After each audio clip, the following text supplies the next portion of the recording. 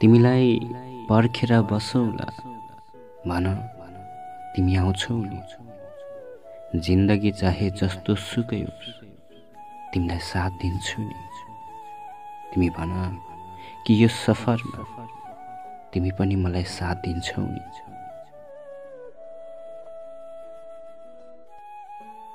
जिन्दगीमा आफूले आफैलाई खुसी राख्नु खोज्नु जतिको कठिन काम अरू केही नहुँदो रहेछ।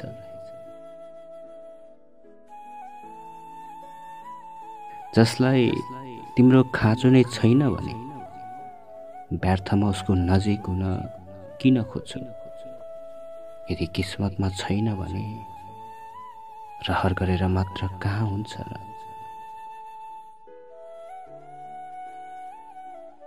जसरी मन पराएको मान्छे हराएको थियो त्यसरी नै हराए हुन्थ्यो नि।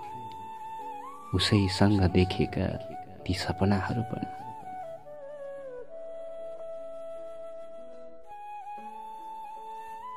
न बाटो थाहा छ न त गन्तव्यको टुङ्गो नि। जिन्दगी बस दोधारे भएको छ।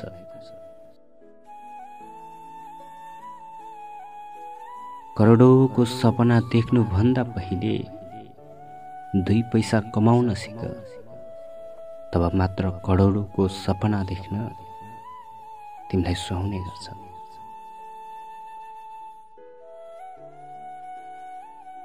ममा त्यही चिज कमी भयो जुनहरूमा उसले खोज्ने गर्छ।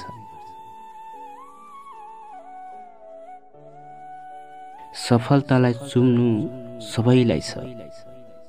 तर कठिनहरूलाई अपनाउन कोही चाहँदैन।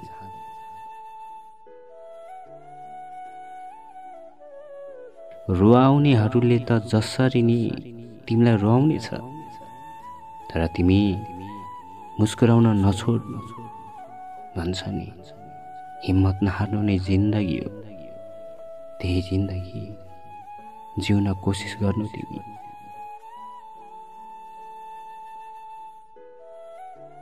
न तिमीले मैले रोएको हेर्नु पर्नेछ न त हाँसेकै नै। अनि खोज्ने नगर्नु तिमी मलाई अब मलाई तिमीदेखि निकै टाढा जानु छ।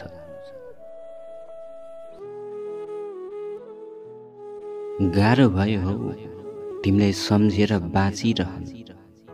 यदि मिल्ने भए फ्याट्ट झिकेर फ्यात्ता फालिदिने थिए। दिन रात सताउने ती तिम्रा यादहरूलाई फर्केर पनि नहेरौ भन्छु ती तिता बितेका पलहरूलाई। तर नचाहे जस्तो हुन्छ नसोचेको जस्तै हुँदो रहेछ यो जिन्दगी पनि। भाग्यमा जे भोग्नु पर्ने थियो त्यो भोग्दै जाँदैछु। भगवान् जो मेरो कहिल्यै थिएन उसको लागि मैले आँसु झार्न नपरोस्। फर्केर नआउने मान्छेको याद पनि फिर्ता नआइदियोस्।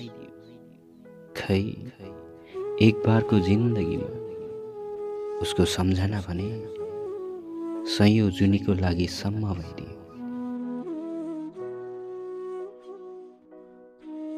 मेरो असफलतामा ताली बजाउनेहरूलाई भगवान् मलाई साहस म त्यस्तो प्रगति गरौँ जुन देखेर उनीहरूले नि ताली बजाउन परोस्। तिमी गएपछि म यस्तरी टुटे कि दिनहौ रुन्थे दिनहौ तिम्रै बारे सोच्ने गर्थे।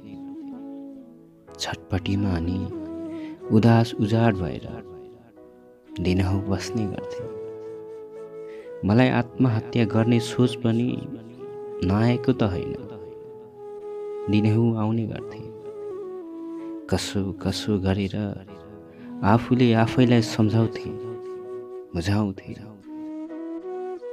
कुनै दिन तिमी मलाई खोज्दै फर्केर आउँदा मनै रहिन भने तिमी एक्लै हुन्छौ भनेर।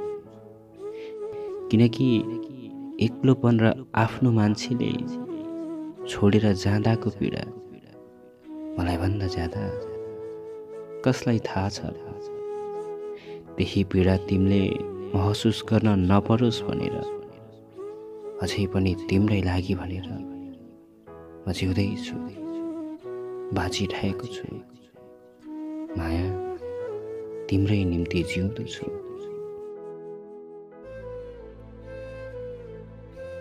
तिमीसँग देखेका सपनाहरू पुरा नभए पनि जिन्दगीको पूर्ण विराम लाग्नभन्दा पहिले तिमीसँग मन भरुन्जेल बोल्ने मन छ। आँखा भरुन्जेल तिमीलाई हेर्ने मन छ।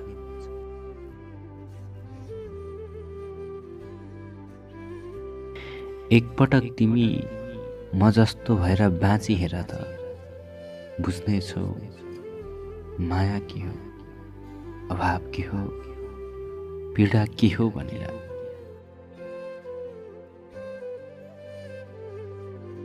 यदि गल्ती गरिएको छ भने जस्तो सुकै सजाय सहन सकिन्छ।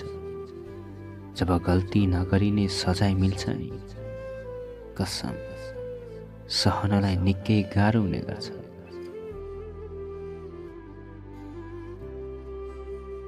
किस्मत उसैको खराब भएको भेटे जसको दिल सफा थियो।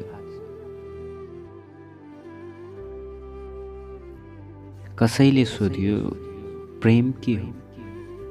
उसले मुस्कुराउँदै सुन्दर जवाफ दियो दुनियाँमा धेरै मान्छेहरू त छन् तर पनि एक व्यक्तिको लागि रुनुपर्छ त्यसैलाई प्रेम भनिन्छ।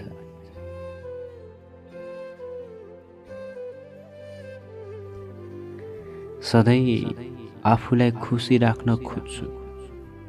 तर थाहा छैन मलाई कति कमजोर दिल लिएर बाँचेको रहेछु। कि नचाहँदा नचाहँदै पनि अक्षरहरूको कुराले रुवाइदिन्छ।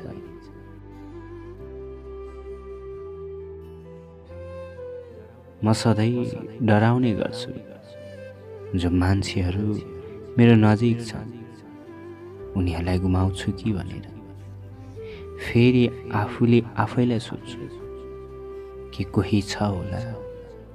जो मैले जस्तै मलाई गुमाउन डराउने।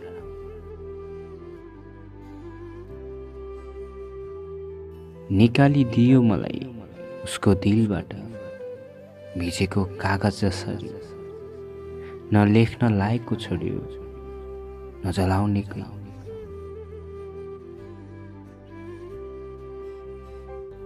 खै के बताऊ आफ्नो बारे न कसैको लागि लायकको भए न त मृत्युले नै स्वीकार्न सक्ने।